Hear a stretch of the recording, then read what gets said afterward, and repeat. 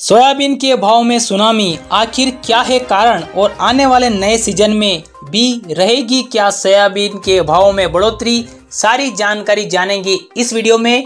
साथियों, मेरा नाम भी जान लीजिए। मेरा नाम है शिवराज और आप देख रहे हैं ठाकुर टेक्नोलॉजी यूट्यूब चैनल। साथियों वीडियो को कर दीजिए लाइक और चैनल को कर दीजिए सब्सक्राइब सोयाबीन के भाव में सुनामी आखिर क्या है कारण? जानकारों की माने तो कोरोना महामारी के दौरान सोयाबीन से बने उत्पाद जैसे सोया दूध, दलिया, बिस्किट, पनीर की मांग ज़्यादा बढ़ गई है और नतीजन आप सीज़न में सोयाबीन के भाव में इतनी तेज़ी दिख रही है। फ़िलहाल इन भावों का किसानों को कोई फ़ायदा नहीं मिल रहा, पर हाँ नए सीज़न में छः हज़ार रुपये से कम भाव पर सोयाबीन बिकना मुश्किल है, ऐसा जानकारों का मानना है। पिछले साल चार हज़ार से पैंतालीस सौ रुपये प्रति कुंटल सीज़न की शुरुआत में बिकी थी सोयाबीन।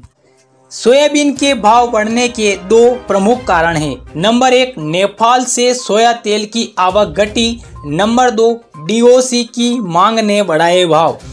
कोरोना की पहली लहर के दौरान नेपाल से सोया तेल की आवक बढ़ गई थी। इसका कारण यह बताया जा रहा है कि नेपाल में सोया तेल पर ड्यूटी नहीं लगती। वर्तमान में नेपाल के सोया तेल की आवक में कमी आई है इसी का लाभ स्टॉक वाले उठा रहे हैं। इस पर सरकार का नियंत्रण नहीं होना भी भावों में बढ़ोतरी का एक कारण माना जा रहा है।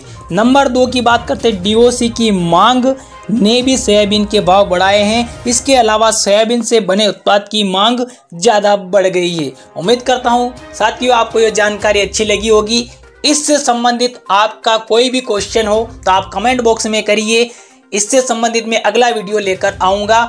उम्मीद करता हूँ वीडियो अच्छी लगी होगी। वीडियो को लाइक कर दीजिए, चैनल को सब्सक्राइब कर दीजिए और इस वीडियो को हमारे अन्य किसान साथियों में ज़्यादा से ज़्यादा शेयर ज़रूर कीजिए। इसी के साथ चलते हैं, मिलते हैं अगले वीडियो में। वीडियो को लाइक कर दीजिए, चैनल को सब्सक्राइब कर दीजिए और इस वीडियो को ज़्यादा से ज़्यादा शेयर ज़रूर कीजिए। धन्यवाद साथियों।